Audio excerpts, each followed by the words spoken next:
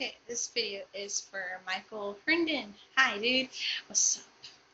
Okay, um, let's see. Truth is about you. Um, I've never really met you in, in like in person and stuff, but we have communicated through Facebook and through texting and stuff. And you seem to be a pretty cool dude. You got definitely got good taste in music. Good job.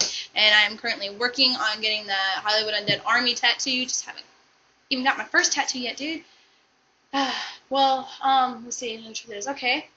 Um, let's see. You always hit me up whenever you're bored or whenever I'm bored, and whenever you see me post something on Facebook that's not exactly too happy and shit, you always hit me up to see if I'm okay, which is awesome. It shows that you have a good heart, and we should probably talk more. But I have a lot of people that I communicate with, so it's kind of hard, and then I'm busy with family a lot kind of happens when your dad's going through a divorce. It sucks. And you got like four siblings. Yeah, I'm busy a lot. and lately now I've been communicating with my boyfriend a lot, which I kind of have to because he lives in Arizona. It's not here yet.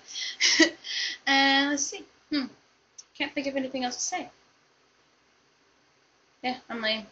I got like, I don't know, see people? Yeah, that's a lot of people. Alright, well, I'm going to get on to them.